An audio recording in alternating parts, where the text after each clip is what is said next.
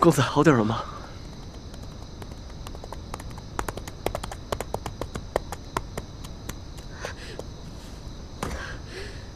爹，爹，怎么样了？吃完了，李大人死了。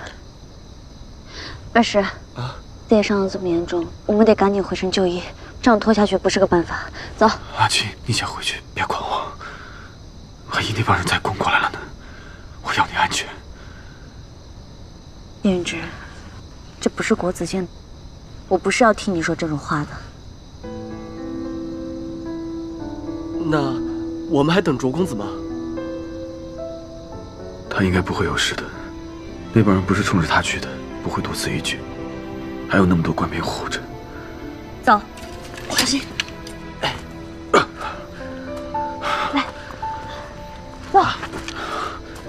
公子，我带你。不要，我不要跟你一起做。可是，早说了。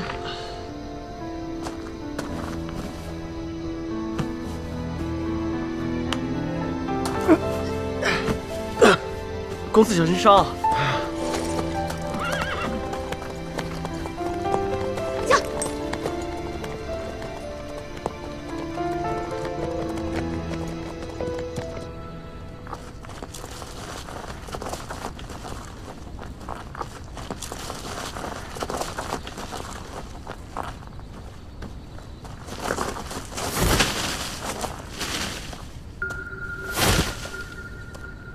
周公子。魏展宏，怕是生还不了了。不打紧，计划已经失败，他也没有活着的意义了。按照我们原来的计划，严三郎那边收到魏家即将到达荆州的消息后，燕云之必定暗中跟随。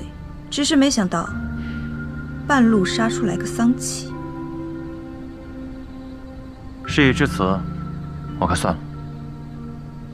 我已经料想到了计划失败的可能性。在回去的路上埋伏了人手，亡羊补牢，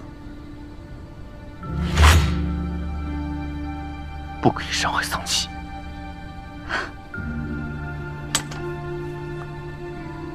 知道周公子的心思，早就吩咐下去了，绝对不会伤害到你的小桑启。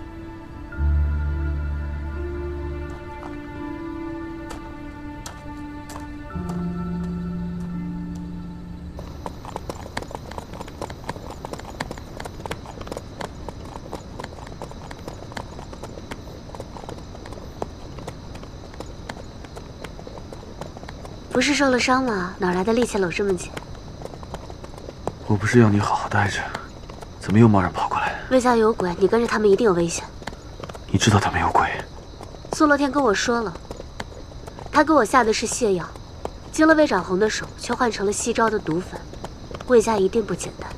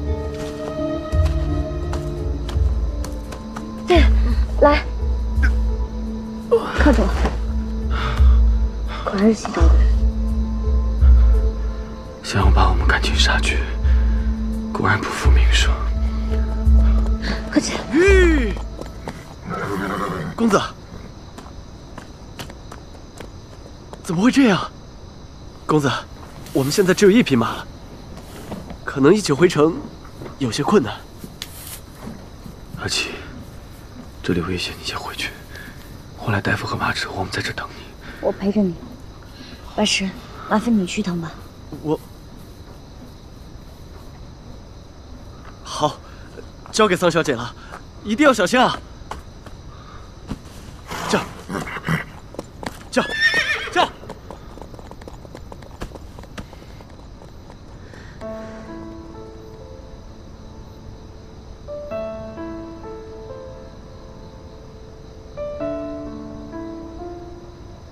阿七，你别这么看着我了，我没事的，我心里有数。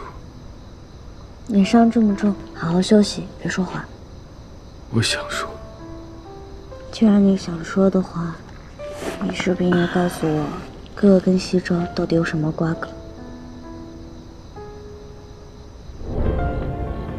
雨兄，为了庆祝你身体开始好转，我把我爹最好的酒都给偷出来了。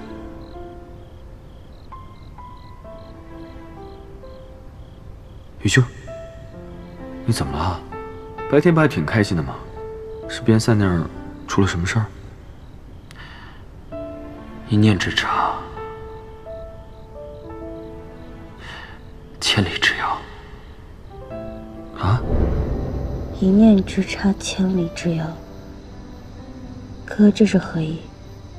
那时候我也琢磨了一阵子。第二天，雨兄就在我面前暴毙而亡。按照仵作的说法，雨兄他是病急攻心。可雨兄那个时候明明就告诉我，他的身子已经开始好转了。而当我想要追查真相、找线索时，却发现雨兄在郭子健的所有痕迹都已经被人为的清理了。难道？难道是因为哥哥知道了一些不为人知但又极其重要的信息？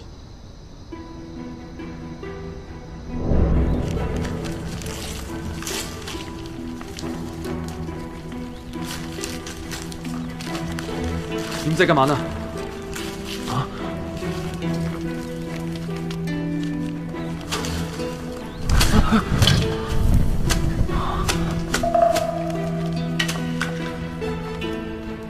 是谁让你们烧雨兄的东西了？我们不知道啊。刚才有一个自称官府的人吩咐了博士，不是让我们烧的，说只是清理杂物罢了。那些烧衣服的人是没有办法追查到，对不对？余兄的事情很快就被了解了，从郭子健到太尉府，都默认了他就是因重病而亡。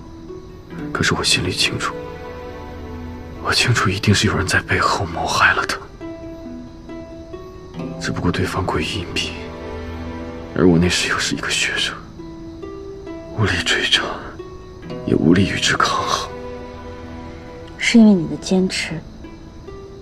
哥哥的事情才没有走入死局。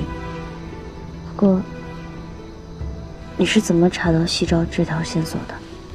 自我认知郭子健死夜，我就一直在侦查，利用严三郎职务之便，我一直暗中留意着与玉兄相似的死亡状态。就在你进郭子健读书的前后，我们发现了一起特别相似的案发现场。在那里，我们发现了西昭的坟墓。怎么会这么巧合？现在线索指向了宋、魏两家。虽然对方在暗处，但我可以肯定，他们势力极大。当初我进国子监的时候，你对我百般刁难，后来又安排我到凌无峰去拜师，其实都是为了保护你，都是为了保护你。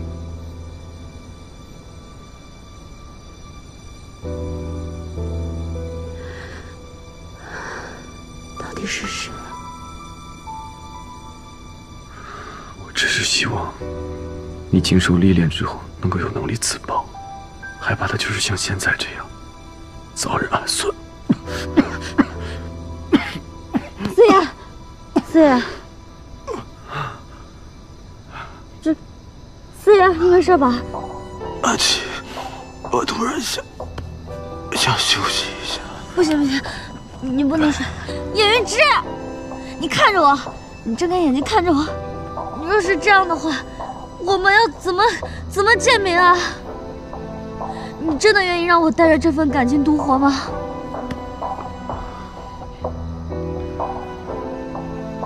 那我们何时见面？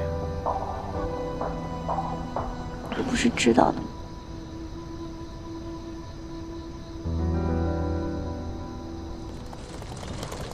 公子，凡事，玉，公子，公子，凡事快！公子，马车和大夫都到了。公子，你这嘴是怎么回事？是谁又伤你了吗？赶紧扶他上车。不要他扶，阿姐你扶我就行。可是公子，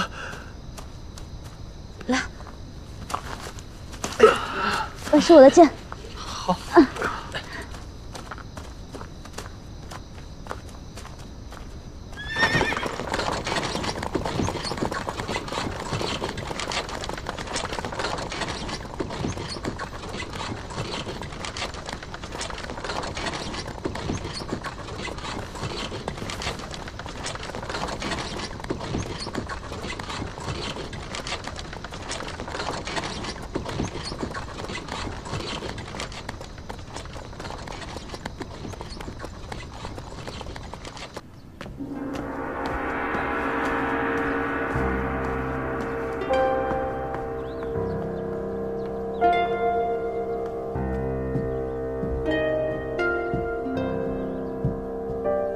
官家，严三郎，情况追查的如何呀？回禀官家，魏大人死了。仵作查到魏大人肩上有西昭的雕花纹身，魏展宏不知去向，生死未卜。